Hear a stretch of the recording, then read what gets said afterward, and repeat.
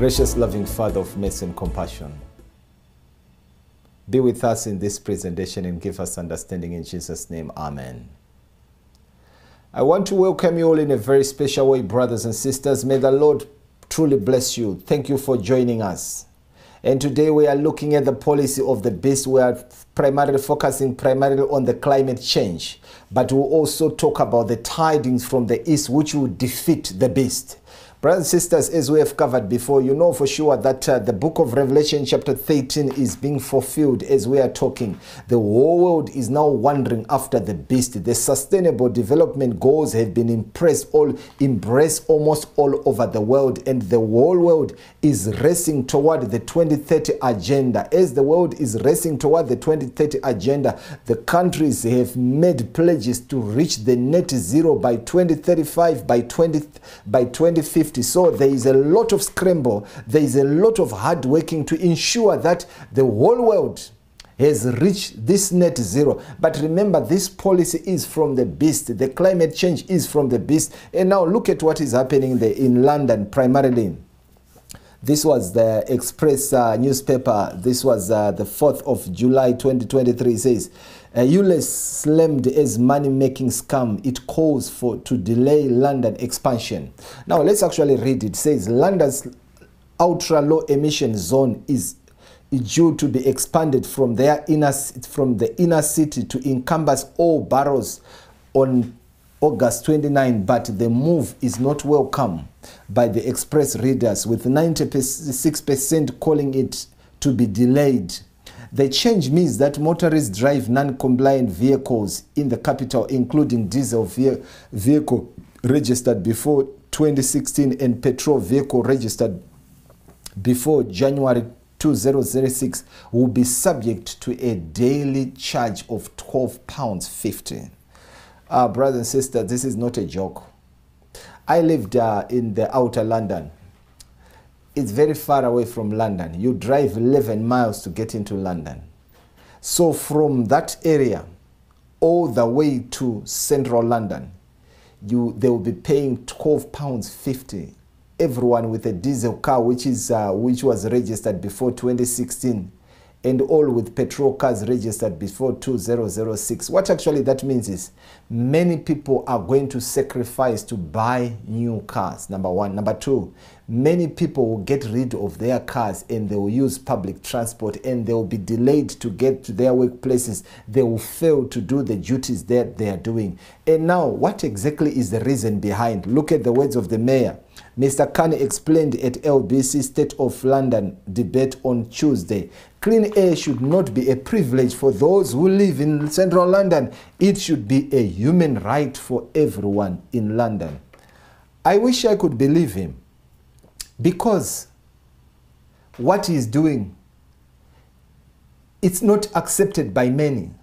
Now, listen to the argument of Nigel Farage giving us the actual reason why they are doing this. It's a money making scam, number one. But also, this is an agenda for the World Economic Forum of the creation of the smart city. Just take a look. So here's the background. The background, of course, is all about climate change, climate change and pollution added onto that. Over the course of the last few years, uh, Mayor Sadiq Khan of London has made most of central London 20 mile per hour speed limits. I'm not joking, it's 20 mph, even on dual roads in most of London. Speed cameras are being installed every single day of the week and even at two o'clock in the morning. If you're doing 23 miles per hour, you will get flashed, you will get penalty points and a fine. Then they introduce low traffic neighborhoods, which means they literally block off some roads and make them pedestrian. All of which means the traffic gets worse, congestion gets worse, and hey, guess what? Pollution goes up. But that doesn't stop them. Then they've got the concept here of what's called a 15 minute city. That if you drive more than 15 minutes from your home, you'll have to start paying tolls and charges to do so. So all of this has been going on as by the way they build cycle lanes. They turn dual roads into one lane roads with a cycle lane on the side, mm-hmm. which for 20 hours a day is used by virtually nobody. And then this Tuesday, Mayor Khan says the air quality in London today is going to be poor. And that's because summer has finally arrived on our little island. All right? So he says, please don't use your car unless it's absolutely necessary. Do not let your car idle. Do not burn wood, and so on and so forth. Now, if I'd said to you four years ago that we'd be locked down because of a flu like virus that had come from China, you would not on this program have believed me. And I'm telling you here and now that in the name of climate change, in the name of pollution, we will, certainly in London, within the next few years, have a period when the mayor says you must not use your car at all, and air quality is so bad, you must stay at home. Mm-hmm. But if you do have to go to work, please use the subway. And by the way, the air quality on the subway is so bad, some days it's dangerous. This isn't about pollution. Nope. It isn't about climate change. It's about controlling our lives. We're becoming like China. And don't think it won't come to you because it will. As you've seen, brothers and sisters, the call is that these policies may be delayed. They are not calling for the scrapping of this policy, as you can see from the Liberal Democrat MP. They are calling for the delay of this uh, policy. But now, why should this policy be delayed? It is simply because these policies are going to go through. Because these policies are going to go through, they are saying that maybe the world is not yet ready to, or the London is not yet ready to accept these policies. But now let's move from London, let's go to Canada. Look at uh, this uh, paper. This was LifeSite. Alberta's Daniela Smith tells Trudeau his 2035 net zero policies aren't possible. So Daniela is saying this policy, we like it, but it's not possible in that short space of time. And then she, Alberta's Premier Daniela Smith gave Prime Minister Justin Trudeau a swift rebuke regarding his move, his government's climate change targets, telling him to his face that it won't be possible for a province to reach his net zero emissions aims by 2035. Why is it not possible? Because people depend on oil, because people depend on coal, and if you are going to close this policy, you make life, if you are going to stop this production, you make life very difficult for the people. The speed is too much. Oh, remember, they are not saying that the policy is bad. They are just saying your speed is just too much. You need to slow down. Now the question is, why can they not just scrap the policies altogether? It is simply because the governments have subscribed to the Millennium Development Goals first, and they subscribe to the Sustainable Development Goals, and they have subscribed to the World Economic Forums. And these are the, the agenda of the climate change being pushed by Vatican itself. Now look at what it says here. The Trudeau government's current environmental goals, which are in lockstep with the United Nations Agenda 2030 for Sustainable Development Goal, including phasing out coal-fired power plants.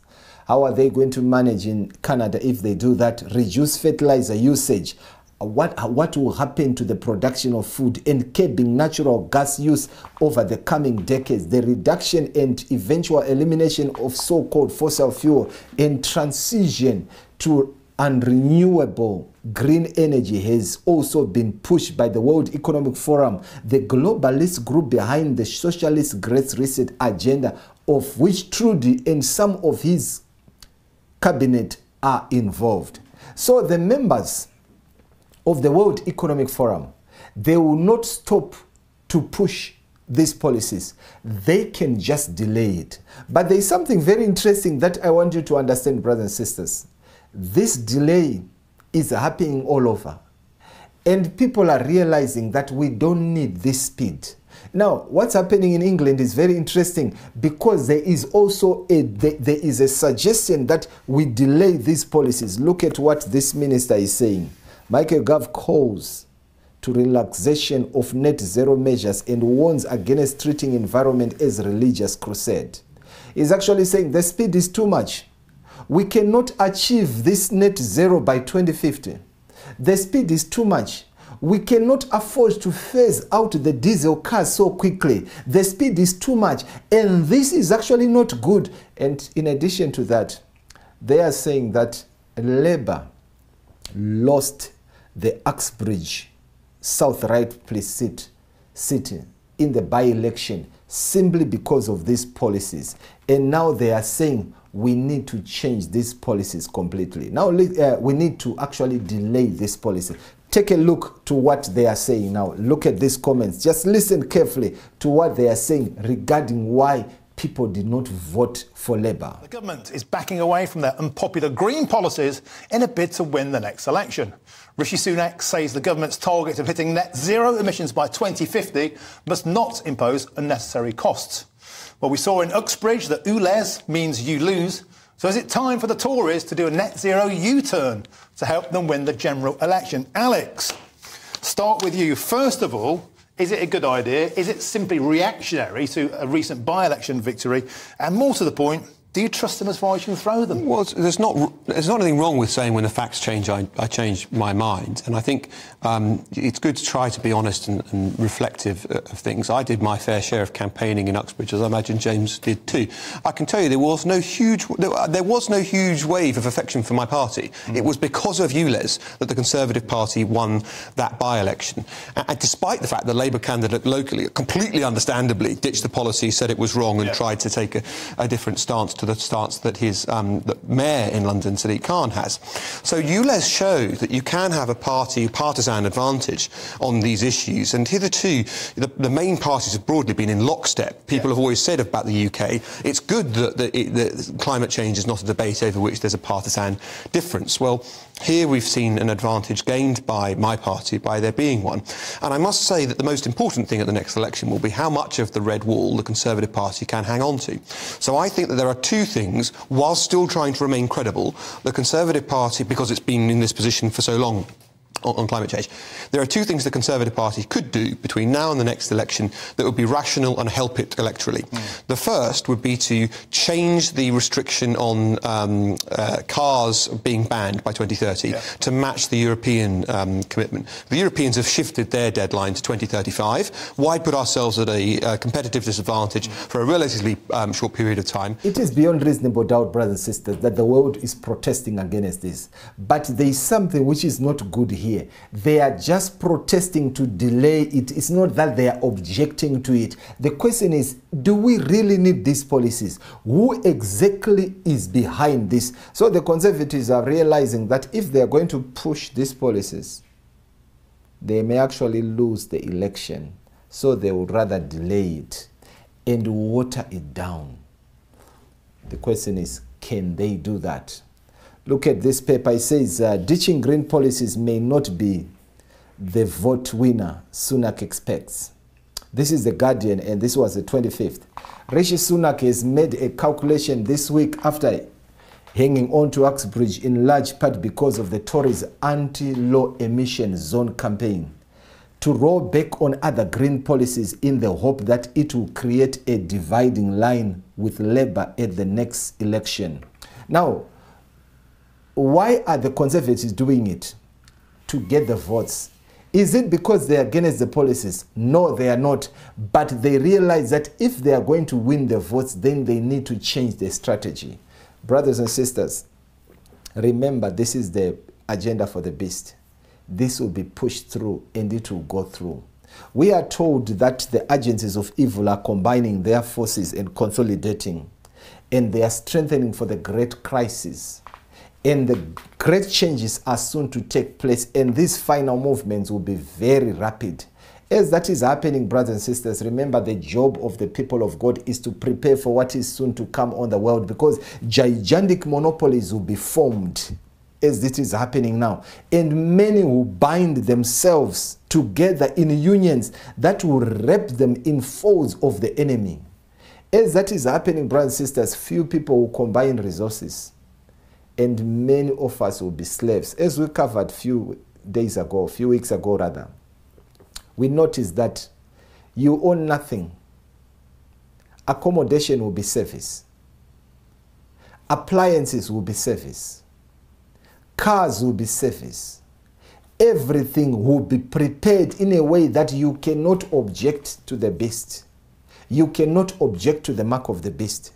You cannot object to the national Sunday law The beast will usurp authority and she will become so powerful because she's working together with the globalists, as we learn from the book of Revelation, chapter 17. But the question is can the beast be defeated? Can any power defeat the beast? Can the children of God do anything against these policies or for these policies? As we have seen in Uxbridge and Ryslip, West London, they went to the ballot and they defeated Labour because of her policies, of her promotion of the low emission zone, which are the policies of the beast. They never thought that it could happen. It has happened. Now the question is, what are we doing as the children of God?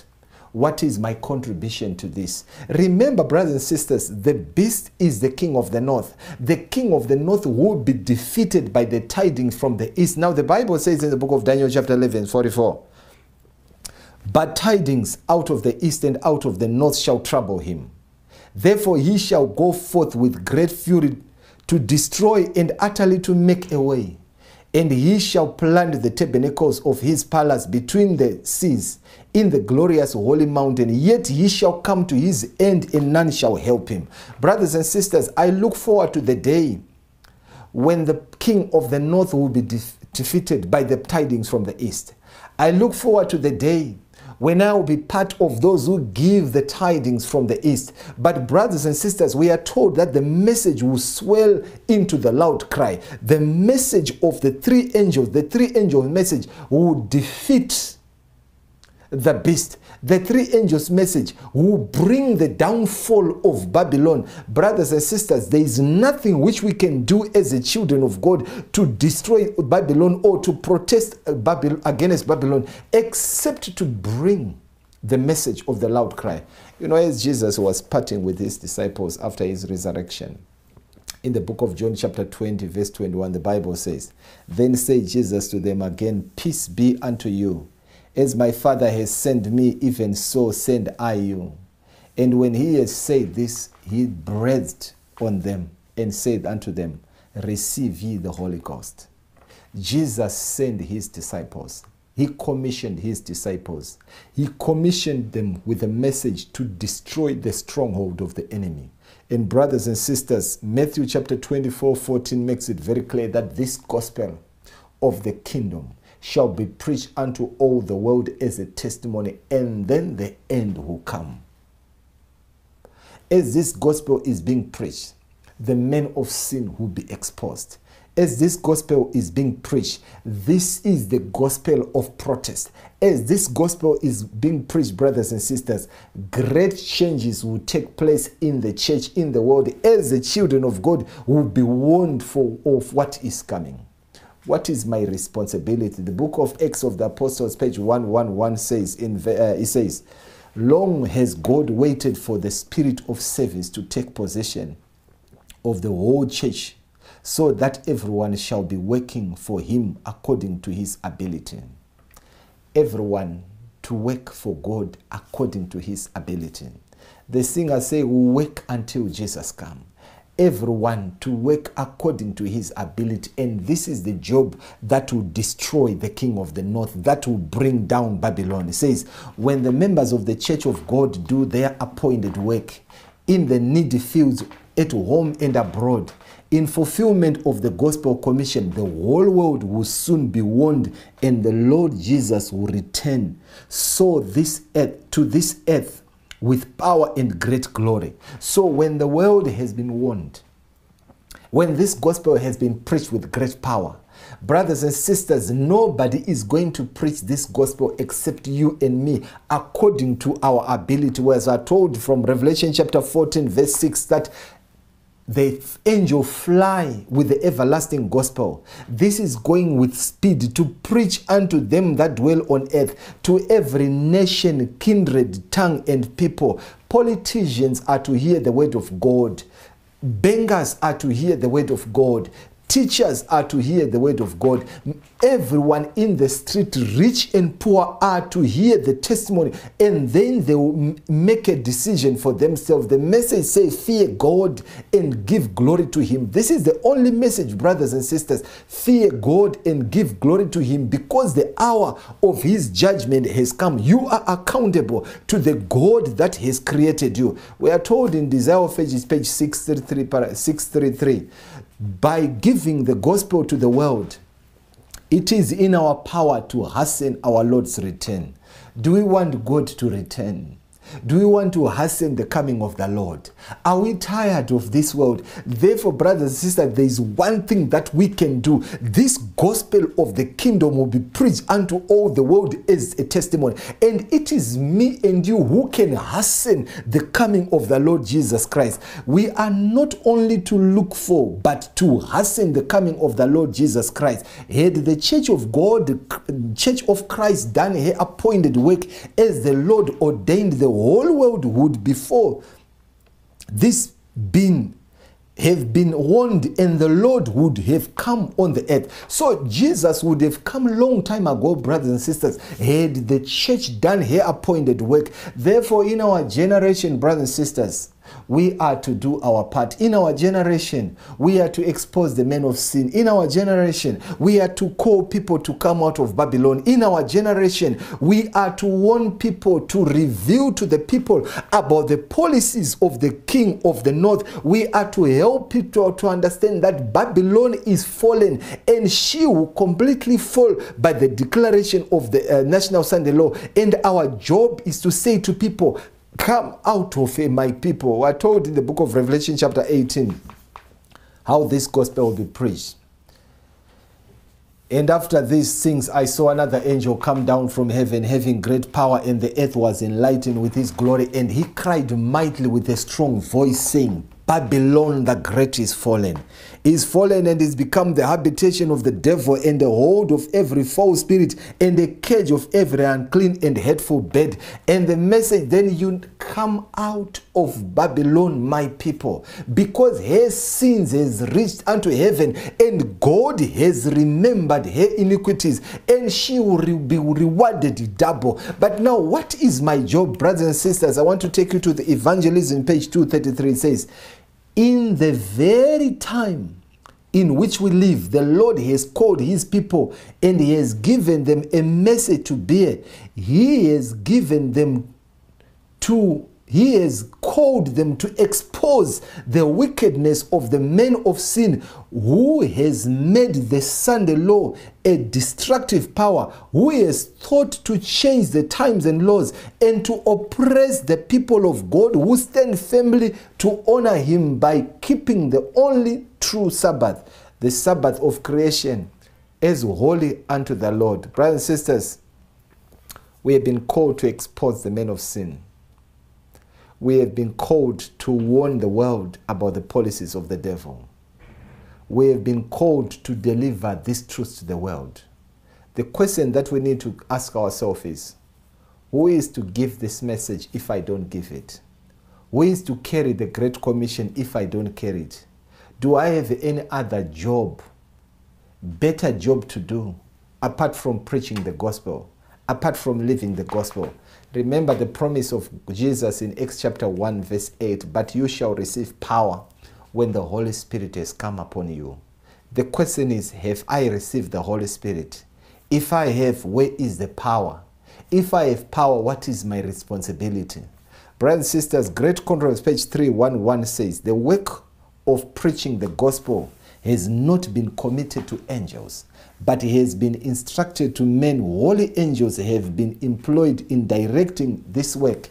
They have in charge the great movements of the salvation of men, but actual proclamation of the gospel is performed by the servants of Christ upon the earth. Brothers and sisters, angels are not going to preach. It's me and you. Angels are not going to bring the money. It's you and me. Angels are not going to participate except to direct the work while you and me are working.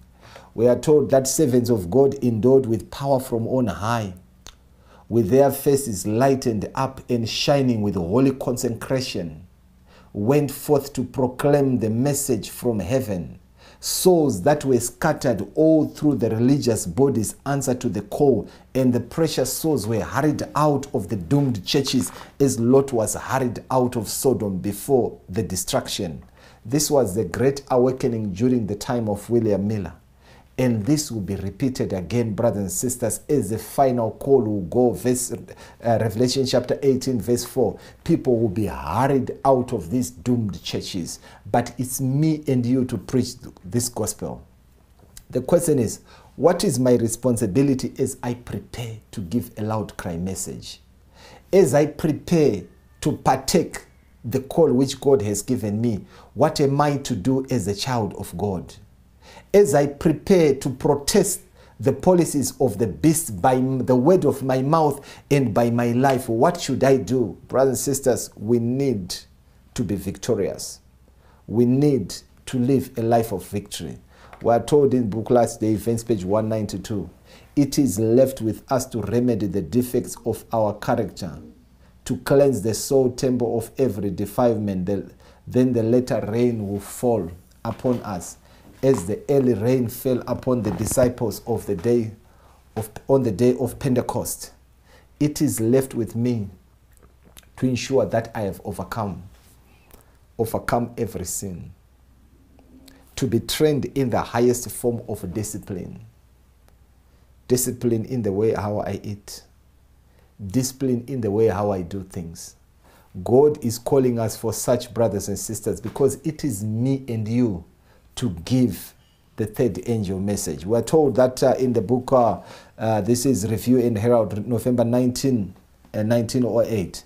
The third angel's message is to lighten the earth with its glory, as we learn from the book of Revelation, chapter 18. But only those who have withstood temptation in the strength of the mighty one will be permitted to act a part in proclaim, proclaiming it when it shall swell into a loud cry. The truth is soon to triumph gloriously, and all who now choose to be laborers together with God will triumph with it. If we choose to be laborers with God, will triumph with this gospel. If we choose to be laborers with God, we will triumph as this gospel triumph. Brothers and sisters, this is our time. As I was prepared, preparing this message, a thought came to my mind. It was in England. If my memory serves me right, it was in 2002. I went to this conference at Haile Conference. I was with uh, my brother Elisha Okuku. I will never forget. It was a very powerful meeting, and Elisha shared some things with me which are very, very important in the preaching of the gospel. We parted with Elisha Okuku as he was returning to Kenya. I'll never forget that man. As we were parting, just before we parted in that meeting, where we were revived and strengthened for the preaching of the gospel, Elisha said, I'm now going back because of the gospel. Uh, that's the call which God has given me we were strengthened and empowered. But later on, we attended another meeting. And in the meeting, the words of Elisha Okuku were reminded me in my ears. And a song was sang, the song which was written by Margaret Clarkson. It was a song about committing ourselves to the preaching of the gospel. And I remember my colleague Elisha Okuku. As he was leaving, he said, It's very difficult to come to London, but it's extremely difficult to leave this world of plenty.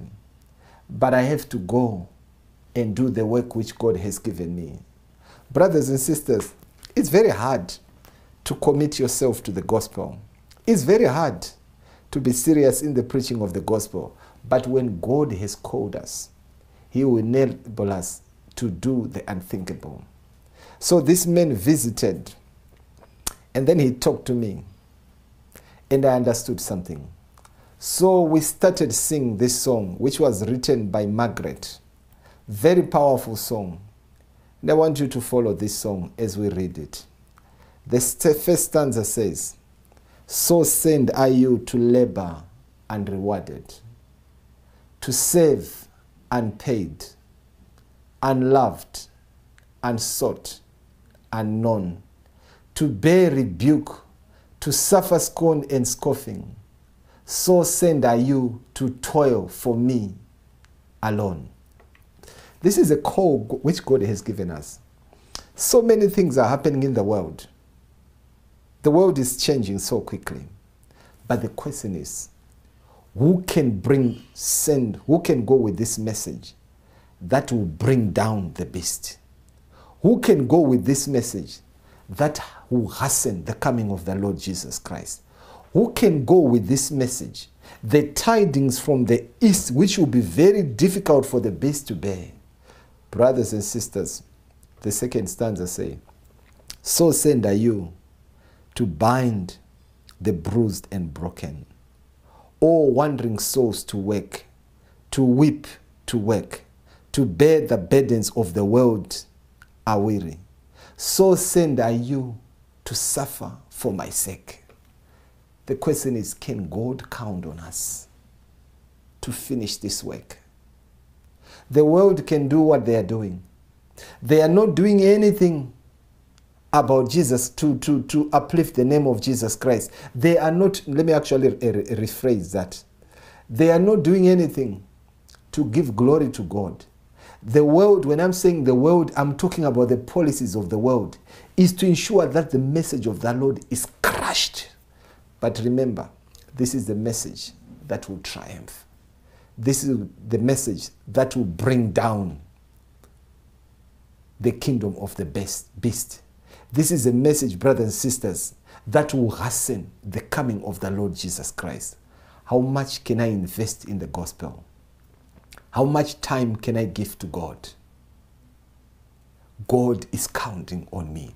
But now look at the third and fourth stanza. So send are you to loneliness and longing, with the heart a hungering for the loved and known, forsaking home and kindred, friend and dear ones. So send are you to know my love alone. So send are you to live your life's ambition, to die to their desire. Self will reign, to labor long and love when men revile you. So send are you to lose your life in mine. This was a very powerful song which was written by Margaret as she was working in that cold environment of Canada, calling you and me to the mission. So sent are you. Are we going to respond to the call of God? We can see what is happening in the world. We can see how the beast is consolidating. Brothers and sisters, there is no need to withhold. All what we need to do is share the message which God has given. All what we need to do is to be honest, faithful, and truthful. Spare not, as Isaiah chapter 58 says, rebuke, exhort with all long suffering. Brothers and sisters, can God count on you? But let me go to the last stanza, because the last stanza say, So send are you to hearts made hard by hatred, to eyes made blind because they see not, they will not see, to spend to it, though it be blood, to spend and spare not. So send are you to test of Calvary. We are being sent to test of Calvary, to experience the pain of Calvary, to experience the sorrow of Calvary. But it is this message that will hasten the coming of the Lord Jesus Christ. When we sing, we are soldiers in the army. We have been sent to people who are not ready to listen the gospel. We have been sent to people who are not prepared for the gospel. But God is counting on us. Shall we pray? Thank you, Father, for all that is happening in the world. But thank you, Jesus, that you've commissioned us. It is our prayer that we may take this work, take it with all our hearts, and share the gospel with colleagues and friends. Bless us, we beseech you. If we have not accepted you yet, to take you at your word and walk with you. Bless us, we beseech you. Bless us, O Lord, we call on you. In Jesus' name, Amen. May the Lord truly bless you, brothers and sisters. I look forward to hear your comment, to be blessing to know where you're following from. Until then, continue to be strong. Don't forget to subscribe. Don't forget to share the link. Don't forget to share the link. God bless you in Jesus' name. Amen.